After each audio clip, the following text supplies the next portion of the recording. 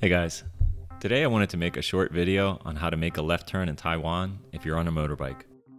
It's actually a road rule here in the country, and it caught me off guard the first time I saw it. I haven't really been to any other country that used this and didn't really find any videos on YouTube about it, so I figured I'd share it with the community to make traveling around Taiwan a little easier. It's basically a two-part hook turn system, and cars are exempt from this. It's designed to bring more safety to the roads and reduce collisions, I believe. Most motorbikes ride in the right lane, so I'll quickly demonstrate. Say I want to drive here, but I want to make a left here. So I, you know, look around. The little sign is right up there. It's really small, so you have to kind of squint for it.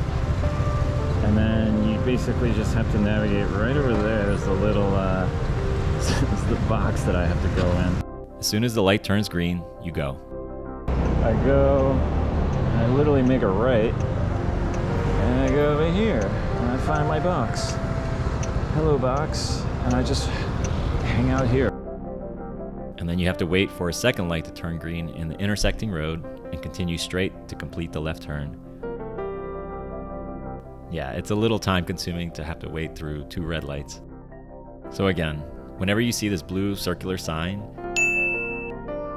just find the box in the intersecting roads and wait inside up until the light turns green.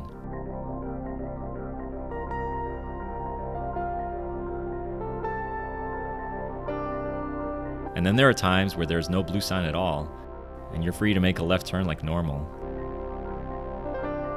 Obviously, keep an eye on oncoming traffic and make the turn when it's safe. It's not too common, but there are intersections that don't involve the two part system. There are also instances where there isn't a complete intersection, but you still have to find the box and wait.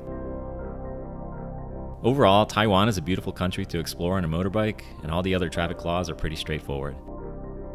I read that there are talks to abolish this rule in the future, but I'm not sure. What do you think? Should it stay or should it be removed? Comment below and let me know. I'd love to hear other people's opinions.